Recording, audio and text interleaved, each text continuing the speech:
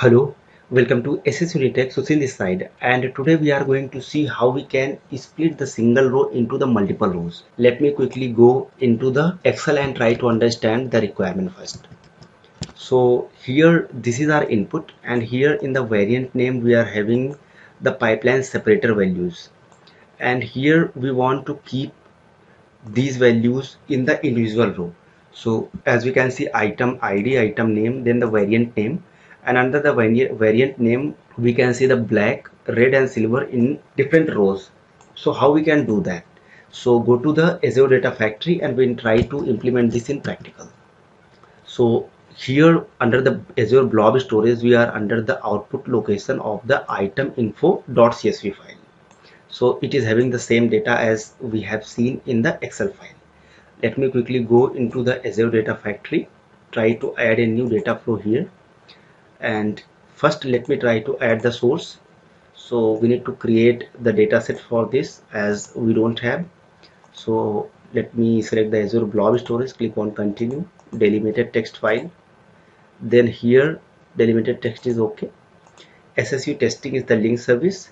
Let me browse this go to the output location and here we need to select the item info file. So click on ok so first row as header let me click on ok. So we have created this delimited text one file dataset now we can go into the data preview and try to refresh so we can also verify the data.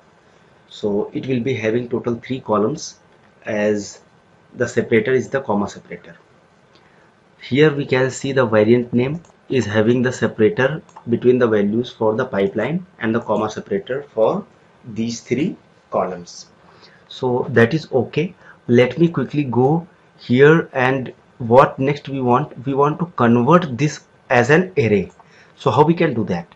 So for that we need to use the derived column transformation. And let me convert this variant name from this string to an array. So for converting the array we need to use the split function. So split function first is asking about the string so the string is the variant name and the split character. So the split character here is the pipeline. So the separator we are having the pipeline. Let me save and finish. Go to the data preview and try to refresh it. So this split you need to remember. It will be going to convert your string values to an array. That you can see here. So this is coming in array. Now what next we need to do. So how we can convert this array value into the multiple rows we have already discussed about the flatten transformation.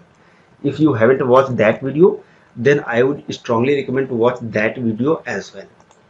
So in the flatten transformation what it will do? It will be going to convert your array values from one row to the multiple.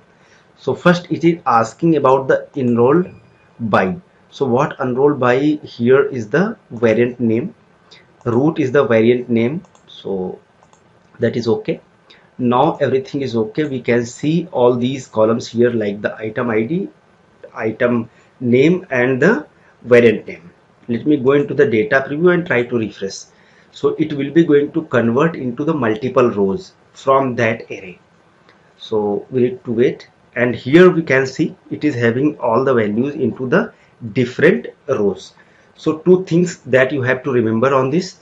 First the derived column transformation using the split function to convert the string values as an array and then the flatten transformation to convert the array values into the multiple rows.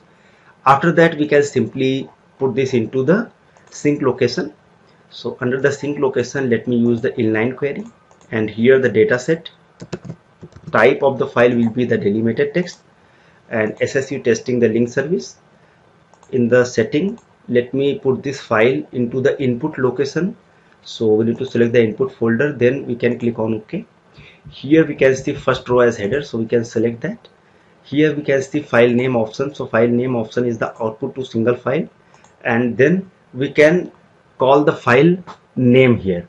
So the file name is item info dot csv so this file is not available in the input location.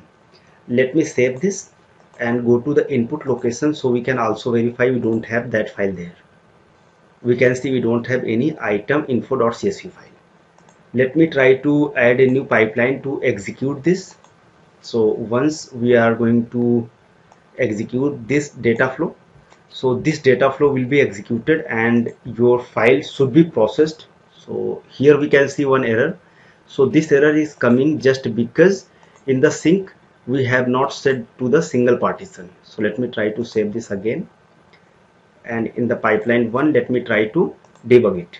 So once it will be executed then we should be able to see the file into the input location. So this is in progress and it will be going to execute soon so it got executed. Let me go into the input location and try to refresh. So here we should see one more file that is the item info.csv so it is having the same data as we have seen in the excel file.